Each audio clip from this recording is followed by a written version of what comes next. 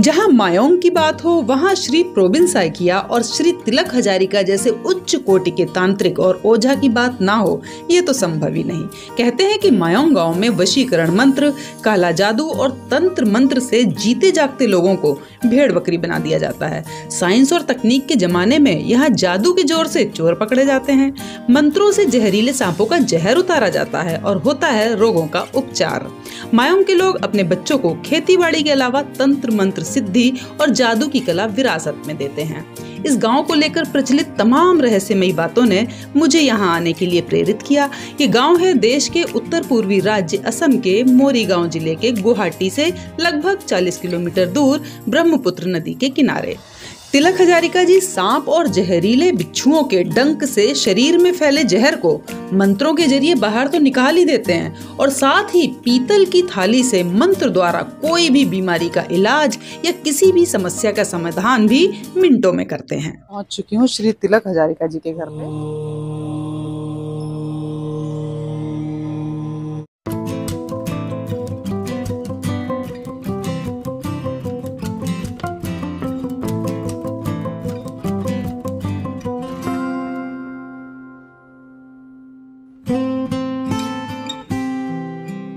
तो ये है श्री तिलक हजारिका जी का घर। तो चलिए हम करते हैं प्रवेश और आप देखेंगे प्रवेश करते ही चारों तरफ़ का नज़ारा कितना सुंदर है। सामने ही जो फ्रंट में आपको दिखाई दे रहा है, वो है उनका वो घर जहाँ पे वो रहते हैं और इलाज करते हैं। और राइट हैंड पे एक बहुत प्यारा सा छोटा सा मंदिर है, बहुत ही रंग बिरंगा बहुत ही सुंदर सा मंदिर और दो शेर बने हुए हैं दोनों साइड में मंदिर के। तो इनको प्रणाम करते हैं और हम आगे बढ़ते हैं तो हमें दिखाई दे रहे हैं यहाँ पे बहुत सारे पेशेंट बैठे हुए हैं। बहुत हरियाली है चारों तरफ़। कुछ पेशेंट गेट के बाहर बैठे हैं, कुछ इस राइट साइड में है, कुछ लेफ़्ट साइड में है और कुछ लोग यहाँ से बाहर भी निकलते जा रहे हैं। तो चलिए एक आध पेशेंट से बात करते हैं जब तक वो फ्री होते हैं तब तक के लिए। हाँ, कल में अच्छा कल आए हाँ। आज आज दूसरी बार आए हो। कल से यहीं पर है। अच्छा यहीं पे रुके अच्छा यहाँ पे रुकने का भी है इनका? सब अच्छा जो इलाज के लिए आते हैं वो रुक भी सकते हैं। ये सारे लोग दिखाने के लिए रुके हुए हैं यहाँ पे। हाँ तो कैसी दवाई देते हैं? मतलब क्या इलाज? मालिश कर रहे हैं अभी। अच्छा, सुबह मालिश। रात को सुबह में रात को फिर मालिश उलिश करता है। अभी अच्छा। तक कुछ दिया नहीं है झाड़ फूक कर रहे है।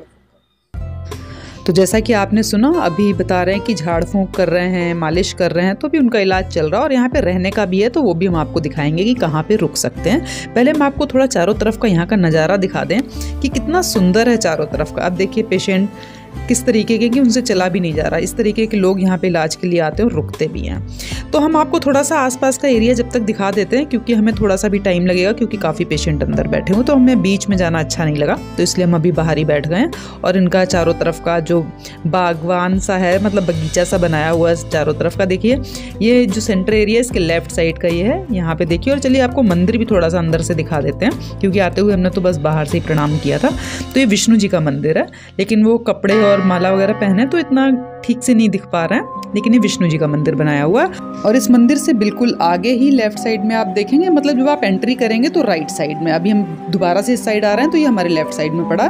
तो एंट्री के बिल्कुल कॉर्नर पे जो हमने आपको शॉप और बाहर से एरिया दिखाया था, वो यही एरिया है, जो ग्रीन कलर का आपको दिखाई दे रहा है। यहाँ पे इनके रुकने की व्यवस्था है। और एक कमरा जो है, वो 1200 से 1500 के बीच में रहता है, और एक कमरे में कई लोग एक साथ रुक सकते हैं, जो इलाज के लिए आते हैं। बाकी उनका कहना कि डिपेंड करता है अलग अलग स्थिति के हिसाब से कम भी कर देते हैं, जैसा भी पेशेंट हो, उस हिसाब से। ऐसा कोई ज़रूरी नहीं कि इतने ही पैसे रहेंगे। और ये उनके पूरे पीछे का एरिया है, जहाँ पे उन्होंने शायद जड़ी बूटियाँ या फिर जो भी है उस तरीके का लगाया हुआ है। तो अभी तो बस हम साइड में बैठ के उनका इंतज़ार कर रहे थे, इसलिए हमने थोड़ा थोड़ा सा ये साइड से ही ले लिया। तो काफ़ी अच्छा ऐसा लग रहा था कि बगीचे के बीच में वो रह रहे हों। बहुत ही सुंदर है। तो चलिए अब चलेंगे वापस और देखते हैं शायद वो फ्री हो गए हों तो।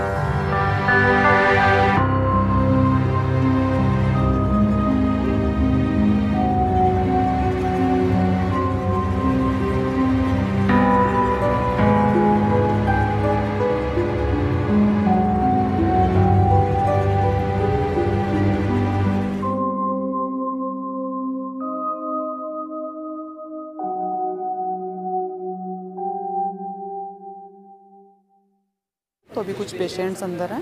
अभी उनसे फ्री होके उनसे बात करते हैं। अरे आ प्रणाम प्रणाम प्रणाम प्रणाम। हाँ बैठे बैठे। तिलक हजारिका जी बताते हैं कि एक बार उनके पास एक युवक दर्द से करहा रहा था। वो आया और उस, उन्होंने पीतल की भारी थाली को उल्टा किया और मंत्र पढ़ते हुए उस युवक की पीठ पर चिपका दिया।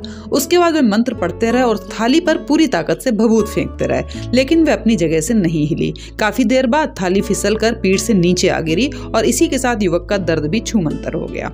अपनी सिद्धि साबित करने के लिए तिलक जी ने उस थाली को फिर से युवक की पीठ पर चिपकाने के लिए कहा, लेकिन वहाँ मौजूद कोई भी शख्स ऐसा नहीं कर पाया। उन्होंने ये भी बताया कि गुस्साए हुए बाघ को बंदी बना सकते हैं, उसके लिए बाघ बाधा मंत्र, एक होता है, वो बोलना पड़ता है, लेकिन ऐसा मंत्र को पहले सिद्ध करना पड़ता, वो हर कोई उसके लिए नहीं है। तो इस तरीके की उन्होंने बहुत सारी बातें हमें बताई और उन्होंने ये भी बताया कि ऐसे मंत्र भी हैं जिसके ज़रिए आप तीन घंटे का रास्ता एक घंटे में तय कर सकते हैं। बाहर काफ़ी देर बातें करने के बाद वो हमें अपने अंदर कमरे में लेके गए, जहाँ पर वो पेशेंट्स को देखते हैं। तो ये उनका वो रूम है जहाँ पे वो इलाज करते हैं। तो आप देखेंगे कितने सारे सर्टिफिकेट्स कितने सारी ट्रॉफीज मतलब कहाँ कहाँ तक उनको लोग नहीं जानते हैं, आप ये अंदाज़ा भी नहीं लगा सकते हैं। और उन्होंने साथ में ये भी बताया कि नदी के किनारे काशा हिला मतलब कच्छा पहाड़ी है, जिसकी चट्टानों पर रहस्यमयी मंत्रों के शिलालेख हैं और शिला पर डमरू, त्रिशूल, देवी का प्रतीक, अष्टभुजी चक्र इत्यादि अंकित हैं और यहाँ पर एक अर्धवृत्ताकार योनि कुंड है, जिसमें साल भर पानी भरा रहता है। आज भी देश के विभिन्न विभिन्न भागों से साधक यहाँ पे तंत्र मंत्र की सिद्धि के लिए आते हैं और कहा जाता है कि मंत्र साधना की शक्ति के कारण एक कुंड सदा ही भरा रहता है।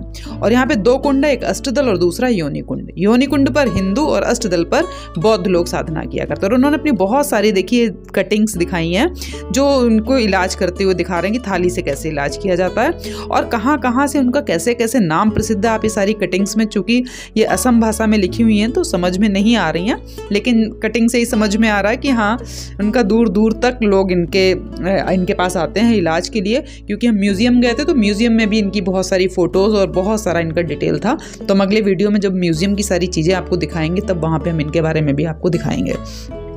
तो यहाँ के लिए ये भी कहते हैं कि जो ये तंत्र है ना, ये बहुत ही कीमती दस्तावेज़ हैं। इनका मूल्य जो इनकी भाषा को समझने वाले ही बता सकते हैं। जो आप ये देख रहे हैं, लिपि कुछ अलग अलग लिखी हुई है बहुत सारी। तो इस भाषा को जानकार कहते हैं कि इस के ज़रिए आप उड़ने में किसी को मारने में या किसी को वश में करने में या क्या क्या काला जादू या तंत्र विद्या से आप क्या क्या कर सकते हैं ये हमारी तो समझ से परे है। लेकिन हाँ इनको जो तिलक हजारिका जी हैं इनको इस पूरी कहना चाहिए सिद्धि प्राप्त है। और जो बूढ़ा मायांग एक जगह है उसके लिए कहा जाता है कि वो काले जादू का केंद्र है। आप देखिए इनको लंदन यूके से भी सब, मिला हुआ है सारा कुछ। मतलब बहुत ही सारे इनके पास चीज़ें थी। और अब हम खिंचवा रहे हैं फ़ोटो Ready.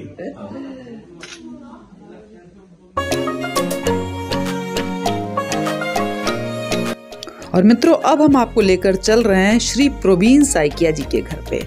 और ये देखिए हम पहुँच गए हैं उनके घर के बिल्कुल सामने। ये रहा उनका घर।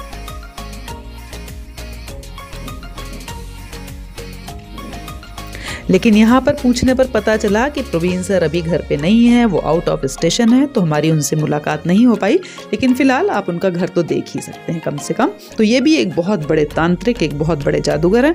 नेक्स्ट टाइम कभी आएँगे तो हम इनसे ज़रूर मिलेंगे, लेकिन कम से कम इनका घर तो हमने देख ही लिया है। और दोस्तों, जादू की शुरुआत तो इसी गाँव से हुई है और कहते हैं कि मुगलों की पूरी फौज यहाँ पे गायब हो गई थी। एक लाख मुगल कहाँ गायब हुए, आज तक किसी को भी नहीं पता। कहते हैं यहाँ के तांत्रिकों ने जादू से एक ऐसी दीवार बना दी थी कि जिसे मुगल पार नहीं कर पाया और एक लाख सारे गायब हो गए थे यहाँ पे।